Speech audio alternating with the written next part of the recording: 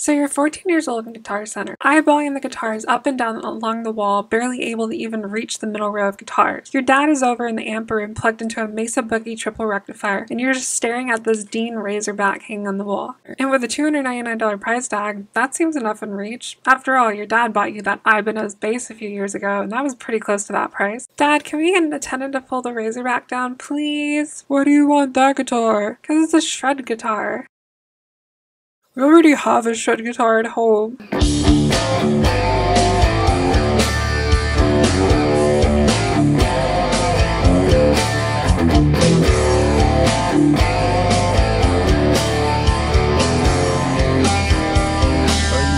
Go through the history with you about why Japanese soloists are sought after by collectors and stuff. Frankly, I don't know much about it and I don't really care about it. All I really care about is my first-hand experience with this guitar.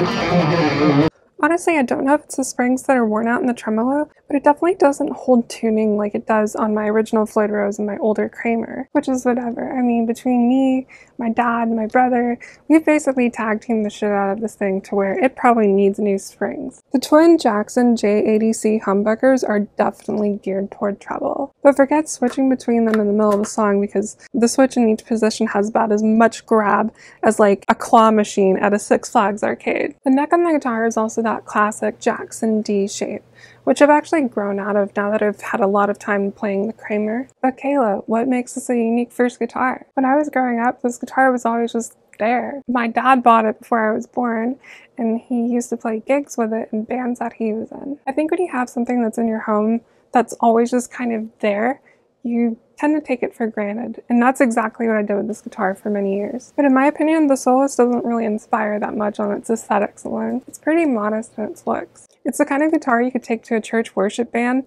and be like, yeah, guys, let's worship some Jesus. While also being at the worship band practice the Wednesday before and being like, hey, can we play some Slayer though? it was for that reason that when I was starting on a guitar, I was just really bored with this guitar. I wanted to have something flashy like my heroes played.